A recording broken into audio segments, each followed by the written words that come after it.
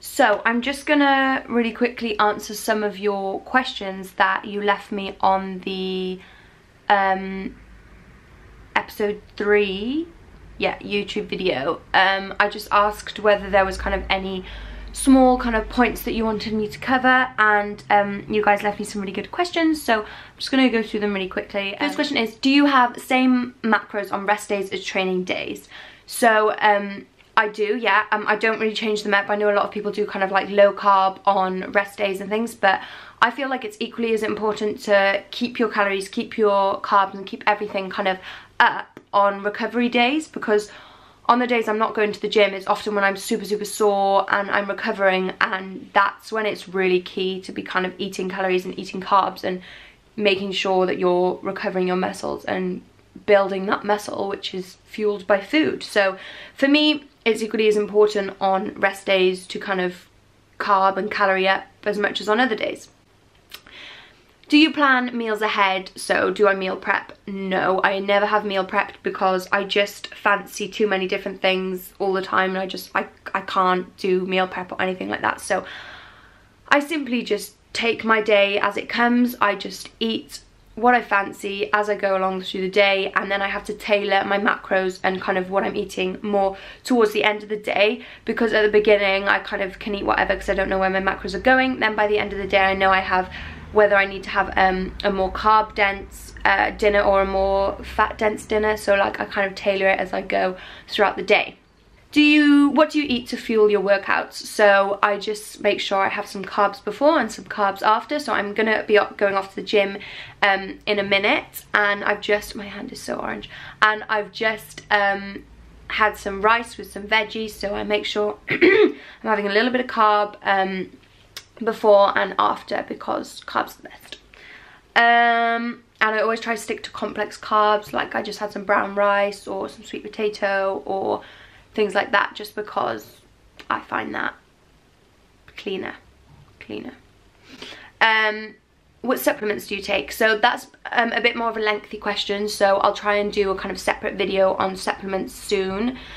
Um, bulking macros, that's a, a, a, a, very commonly asked question. Again, that would take me too long to kind of explain now, but on bodybuilding.com is where I go through to work out my bulking macros. Just type into Google, how do you work out macros for bulking and go on the bodybuilding.com one workout split slash how often do you train legs? So i usually train two to three upper body days a week and two to three leg slash glute days a week. And that's on like a really good week when i would be going to the gym like six five to six times a week. Um, if not i just go with the flow and kind of if i've trained legs and then can can't train till the week after i'll train upper body or legs or whatever i'm kind of fancying. Usually it's glutes. But um yeah it depends on recovery as well. Um, if I've trained legs twice um, and my legs are too sore, I won't train them a third time and I'll just kind of train when things are recovered. Um, what did you study at A-level and what did you need to get into uni to study maths? So I did biology, chemistry, business and maths and um, what did I need? I needed three A's and I managed to get two A stars and an A. Don't ask how. So um, yeah, so that's what I needed for uni for maths in Exeter. Um, fitness trackers, what do you think about fitness trackers? So um, personally I've never actually owned a good fitness tracker. I remember buying one for like £20 but it was counting my steps when I was in the car. I got out the box in the car and I'd done about 100 steps apparently. So that kind of put me off using one but my mum uses one and loads of people I know use them and they are good for steps and sleep and things like that. Um, wouldn't rely on them for things like calories and stuff. They're not 100% accurate so you've got to be careful when you're using them. Um, I am interested in find in, in like um, investing in a better one um, and getting more involved with that kind of thing. But at the moment I've never used one and yeah, I just kind of use the steps on my phone if I want to track steps.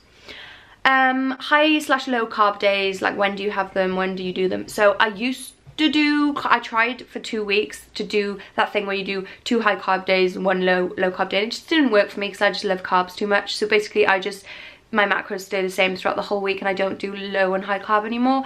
Um, that's something other people might be able to talk more about. Um, but like I said, um, people mainly do like low carb days on non, non training days when I think actually it's just as important to kind of feel your body on those days.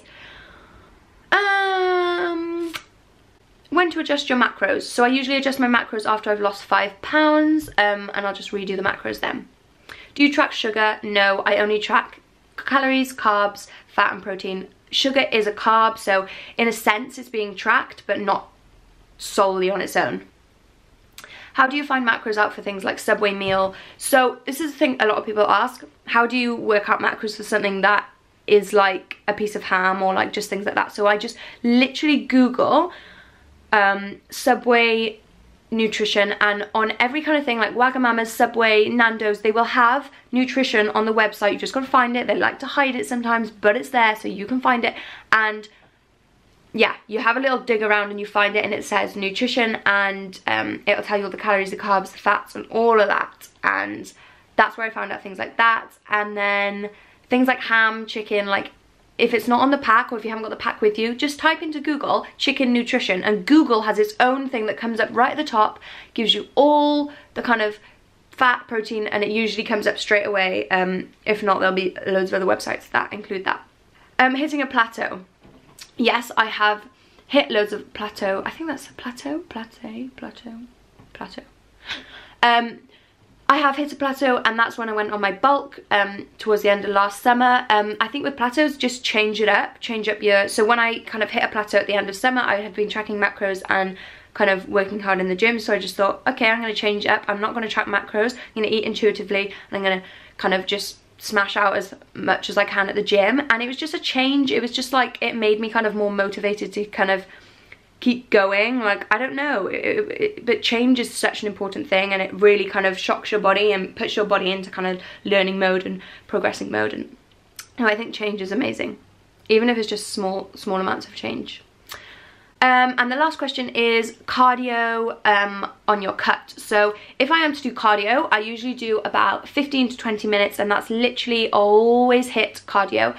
always HIIT cardio. Um, things like taking my dog for a walk and getting my 10,000 steps in, like that's less so low intensity, steady state cardio, which is just like steady walking or whatever like I do love that. And, and sometimes like it changes all the time. Sometimes if I if there's something that I want to watch for 40 minutes I might just put myself on the treadmill for 40 minutes do an incline walk and watch something um on my phone or like there's there's yeah it changes depending on how I feel. But um as the cut goes on, you'll see more and more in the video that I will be incorporating more cardio rather than reducing my macros as I lose weight or lose fat not weights as such, but body fat. Um, yeah, I will um, be incorporating more kind of HIIT cardio up to a maximum of like three times a week just at the end or beginning of my sessions. And I usually do them at the end or beginning of upper body sessions not leg days because I'm usually like a jellyfish walking out the gym after a leg day. And I don't really want to ruin the leg day by doing it before. So it's usually on, on upper body days. Um, that's what I would what I would do for cardio. So I'm gonna head off to the gym now and it's a new gym, it's called Banner Times, something like that in Cardiff. Um, my mum told me about it, I've never seen it or heard of it before so I think it's new in Cardiff I'm always looking for new gyms um, wherever I am. So I'm gonna go and try that one out. They've got a, a three day pass for £15 and I'll let any of my Cardiffians know whether it's um, a good gym or not um, it looks good from the pictures and it has a pool. So, oh my god, do I have any swimmers?